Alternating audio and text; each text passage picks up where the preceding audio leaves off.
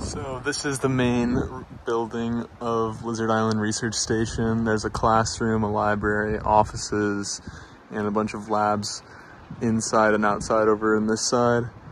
Um, they have a cell tower and also Wi-Fi that doesn't have a super far range.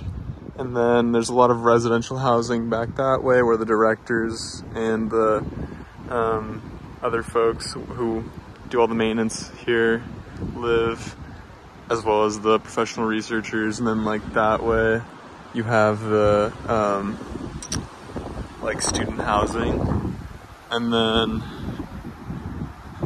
if you walk down not too far, we've got the dive locker over in there.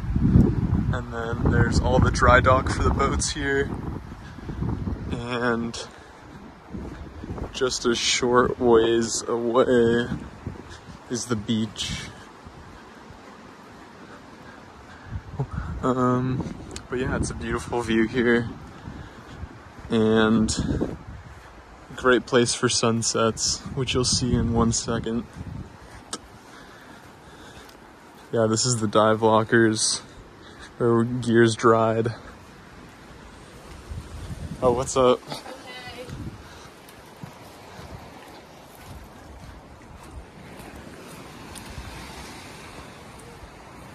And then there's your sunset. All the boats.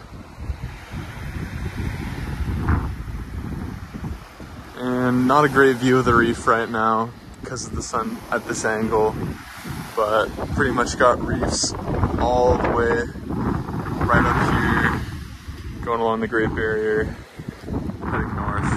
So that's south about ish, and that's northward.